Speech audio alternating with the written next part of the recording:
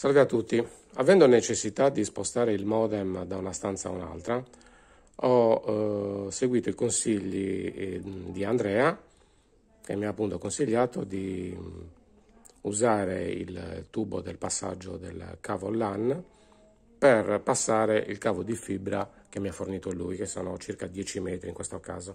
Come vedete senza toccare minimamente il box installato dall'Open Fiber.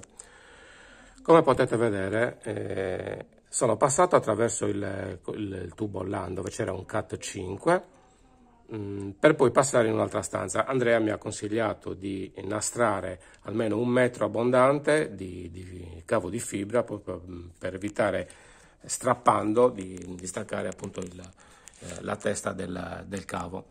Questo praticamente è il passaggio, vedete questa è la fuoriuscita uh, dalla, dalla scatola sono stati fatti due tagliettini per non pizzicare la fibra. E, ehm, purtroppo mi sono dimenticato di fare il, il video prima eh, quindi ve lo sto facendo adesso per il lavoro fatto. Comunque sia praticamente questo poi va a finire direttamente nel, nel tubo del passaggio del cavo LAN che appunto come vi ho detto è una Cat 5 questo è tutto il passaggio che ha fatto sono circa una decina di metri. Tutto il passaggio del, del cavo e va a finire qui. E questa è l'uscita del cavo ok? Teoricamente è molto semplice teoricamente. Però eh, Andrea mi ha consigliato di usare molto, molto lubrificante molta vasellina altrimenti chiaramente non scorre.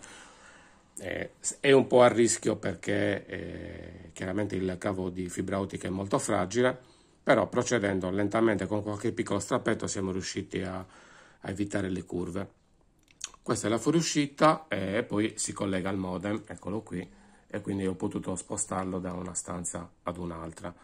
Eh, chiaramente per i consigli, consigli più tecnici poi seguirete Andrea, comunque il passaggio è molto semplice.